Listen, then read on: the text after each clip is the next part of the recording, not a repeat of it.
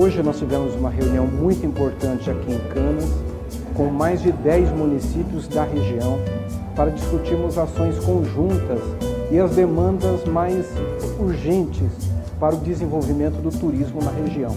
E aqui nós estamos falando sobre o RT da Fé, estamos falando sobre o RT é, do Vale Histórico. Há muita coisa, muitas ações que precisam se desencadear para o fortalecimento e desenvolvimento do turismo. Não obstante, nós temos aqui uma das regiões que mais recebem turistas no Brasil. São 16 milhões de pessoas que por ano vêm a essa região, a maioria em função do turismo religioso.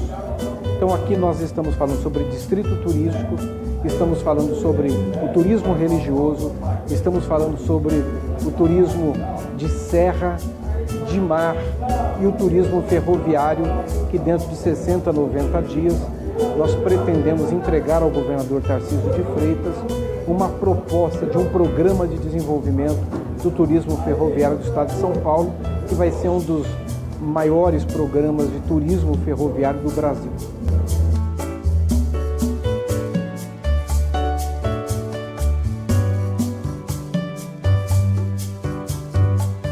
Olha, nós teremos mais 25 municípios de interesse turístico, conforme foi a vontade do legislador que, na Assembleia Legislativa, aprovou no final do ano esse número de MITs.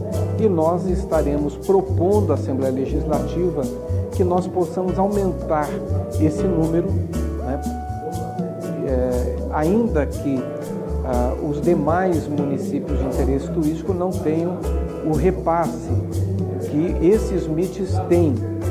No entanto, nós estaremos trabalhando para que haja incentivos e apoio para esses municípios de interesse turístico que não estão dentro desse ecossistema de municípios que recebem o repasse do governo do Estado de São Paulo. Ah, o ranqueamento nós pretendemos antecipar do ano próximo para este ano, aí pelo final do ano, ah, de forma que nós possamos organizar ah, já esse ascenso, descenso, nós possamos eh, organizar esse ecossistema dos municípios turísticos para o ano de 2024.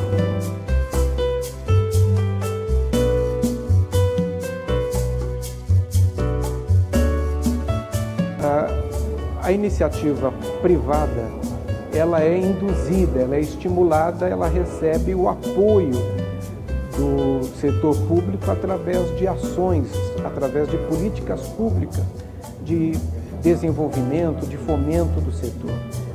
Nisso nós estamos falando, por exemplo, de crédito. O governador Tarcísio de Freitas deverá proximamente lançar um grande programa de crédito turístico para o estado de São Paulo. Estamos falando também de qualificação, capacitação, e isso também deverá, nos próximos meses, ser entregue para é, o estado de São Paulo.